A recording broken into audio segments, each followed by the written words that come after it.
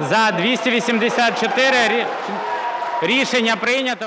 Over the past month and a half, the parliament has started more than 3,000 amendments to the bill.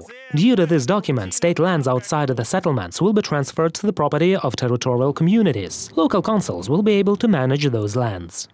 То, що ми сьогодні прийняли, напевно, найбільший по об'єму.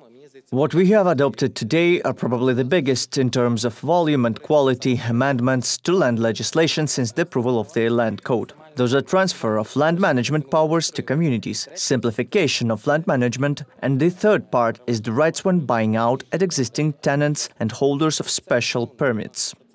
More than 2 million hectares of agricultural land will be transferred to local governments. Another 750,000 hectares will remain in the state property. If necessary, local councils will be able to change the purpose of their plots. Previously, they didn't have such rights. Землі розподіляються практично без нашої участі. Lands are distributed, in fact, without our participation. We don't know who get them. This is very bad. We receive less funds to the local budgets. Lands stand idle, they're not cultivated, and this is all very bad. The transfer of land should attract new investments to Ukraine, the government expects. With the full implementation of the land reform, the International Finance Corporation, a member of the World Bank Group, plans to invest about $3 billion into the Ukrainian economy until year 2024. This was announced by the former acting Minister of Economic Development, Trade and Agriculture.